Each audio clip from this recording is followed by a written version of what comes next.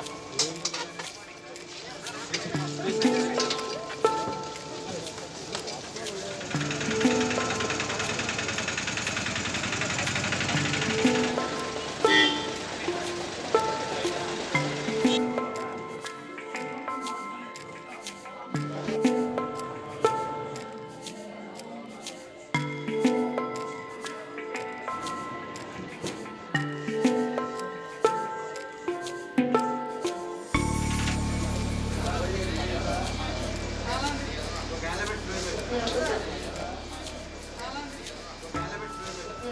As a consensus, uh, it was thought that it is not a bacteriological or virological infection that is causing problem, and it is uh, as of now it is thought of uh, uh, lead or uh, some other chemical substance which is causing problem.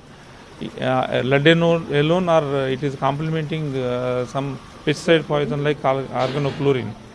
So it is under investigation. Uh, now uh, AIIMS New Delhi has started uh, doing tests for water and milk, and also Indian Institute of Chemical Technology. They, have, they also found lead in the blood samples of the patient, but they are analyzing water again.